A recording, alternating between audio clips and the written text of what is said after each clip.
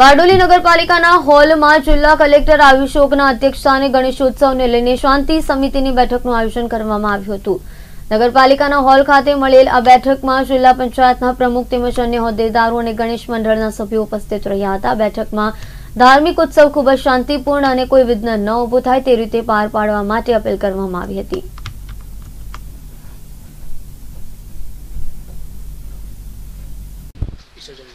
અ, ગણેશોત્સવ કાલથી શરૂ થાય છે. એના ભાગરૂપે આજે તમામ પદાધિકારીઓ સાથે અને અધિકારીઓ જુદા જુદા ડિપાર્ટમેન્ટ્સના કર્મચારીઓ સાથે સંકલનની બેઠક રાખવામાં આવેલી હતી.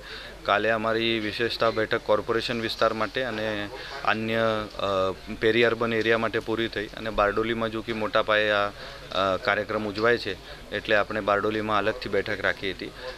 એમાં પ્રથમ દૃષ્ટિએ રજિસ્ટ્રેશન બાબતની અમુક સૂચનો કરવામાં આવ્યા. સાથોસાથ એનજીટી અને નામદાર હાઈકોર્ટની તથા સીપીસીબીની જે ગાઈડલાઇન્સ છે એના પાલન બાબતની સૂચનાઓ આપવામાં આવી. અને એના ઉપરાંત અત્યારે આ વર્ષે સામાન્ય વિધાનસભા ચૂંટણી થઈ રહી છે. એના માટે આપણે ખાસ ઝુંબેશના ભાગરૂપે મતદાર યાદી સુધારણા કાર્યક્રમ ચાલુ છે.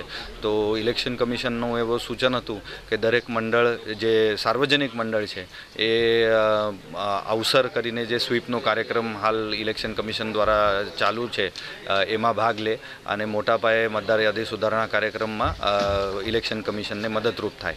એની પણ અમુક જાણકારી લોકોને આપવામાં આવી. સાથોસાથ માન્ય એસપી સાહેબે પણ એમાં કાયદો વ્યવસ્થા બાબતની અને રૂટ બાબતની જાણકારી આપી.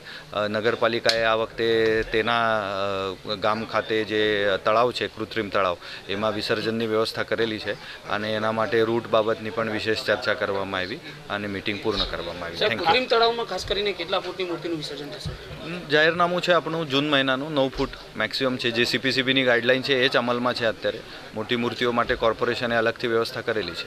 હજી સર નવ ફૂટથી ઉપરની પ્રતિમા હશે તો તેનું વિસર્જન ખાસ કરીને કીધું ને કોર્પોરેશન વ્યવસ્થા કરેલી છે. નવ ફૂટની ઉપરની પ્રતિમા હશે સર તેનું વિસર્જન ક્યાં કરવું કોર્પોરેશને વ્યવસ્થા કરેલી છે એને એ તમે એમને ડાયરેક્ટ કોન્ટેક્ટ કરીને